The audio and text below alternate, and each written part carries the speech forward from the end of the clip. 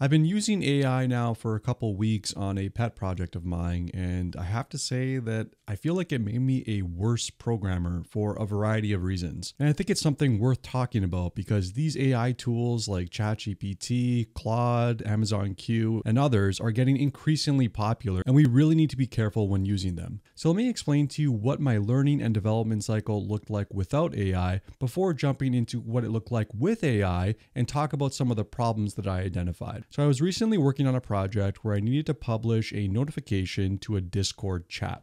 And typically, how I do this when I don't have any AI tools available to me is I go straight to the documentation, right? I go and look at the docs and I say, like, what's there? What's available, right? So this usually takes some time. Um, I check this out. I go and look at all the different APIs, the different integration types, et cetera, et cetera. So I spend some time reading these docs and trying to understand, like, how does this new thing work, right? How does Discord work? What are the APIs that are available to me? Which ones are ones that I could potentially potentially use, what are the inputs, what are the outputs, etc., etc.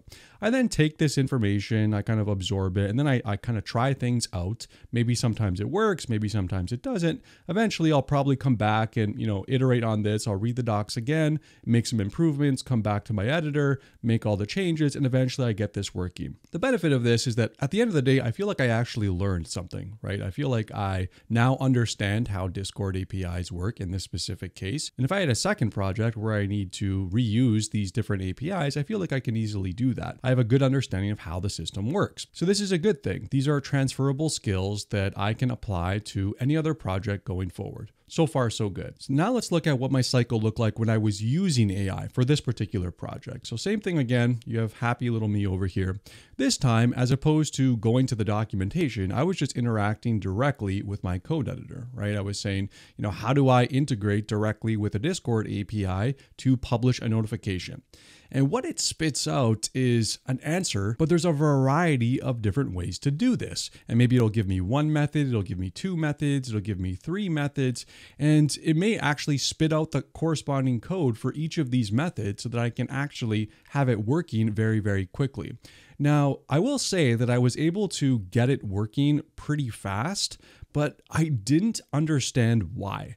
I didn't understand why it was working. And at the end of the day, sure, I was able to accomplish the task. I was able to publish something to Discord, but I didn't learn anything. If someone asked me in a code review, why are you using this API and not this other one, I wouldn't really have a good answer.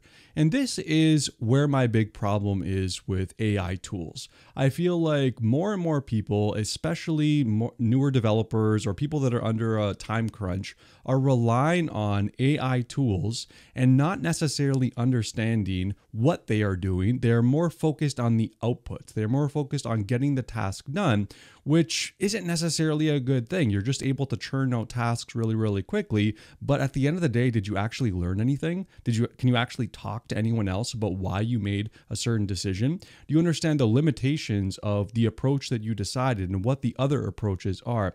For newer developers, this is honestly a huge trap that you can fall into. And I read more and more about this on Reddit and on different social media, on Twitter and on all these different apps of people just having CRs put in front of them by these developers. And it's like, what the hell is this? What is this garbage? And why are you doing it this way? We already have a utility method that does it this way. So I feel like this is becoming more and more of a problem. And honestly, the fact that I was able to get it done pretty quickly with AI, sure, that's a good thing but I feel like I didn't really learn anything. And what I ended up doing at the end of the day, uh, I ended up going back to my old method. I ended up going back and reading all the documentation, realizing that the approach that AI gave me was actually not the approach that I wanted to use. And I just kind of re implemented it after reading the docs and understanding what the correct method was for my use case. So that's my issue with AI for programmers and how I feel that it made me a worse programmer. If you feel like this is happening to you or maybe people around you, I would love to hear your story down in the comments below. Uh, but yeah, let me know what you think of this video. Thanks so much for watching. I'll see you in the next one.